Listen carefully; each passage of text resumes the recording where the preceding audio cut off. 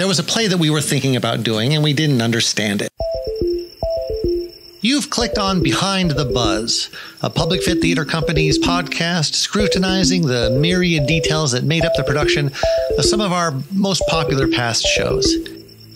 I'm Joe Kucan, producing director here at APF in Las Vegas, Nevada, joined by artistic director Anne Marie Pereth. I'm going to die going out like a ball of flames like this particular woman. First of all, were you nervous about shaving your head? No, I wasn't at all. Um, Really?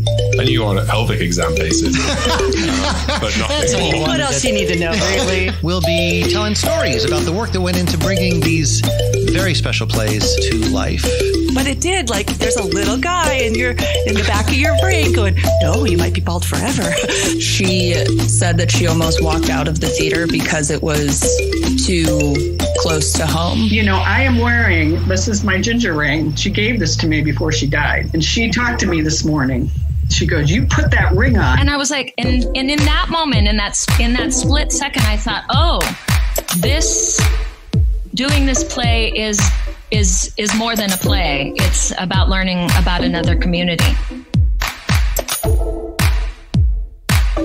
We buzz after every performance. We buzz after every reading. We buzz pretty much after everything we do. We invite the audience to come back, and we call that, it, it sounds a little pretentious, but I'm going to stand by it. We call that the unending conversation. And we truly believe that that connection um, with our audiences make for some of the most engaged, um, connected audiences in, in town.